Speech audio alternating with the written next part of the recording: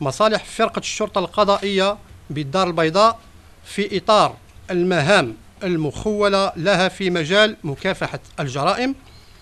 تمكنت من تفكيك شبكة خطيرة تنشط في مجال التهريب الدولي لمواد التبغ مستغلة في نشاطها الإجرامي مستودعات لتخزين السلع المحظورة.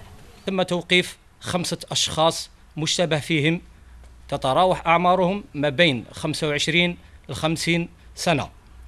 ضبط الكمية المعتبرة من البضائع السالفة الذكر أين تم حجزها ووضعها تحت تصرف مصالح الجمارك؟ حجز ثلاث مركبات تم استعمالها كوسائل نقل للبضائع المهربة.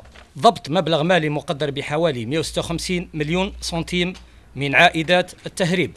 كما تم حجز جميع الهواتف النقالة وعددها عشر هواتف كان يستعملها المشابه فيهم في الاتصال فيما بينهم.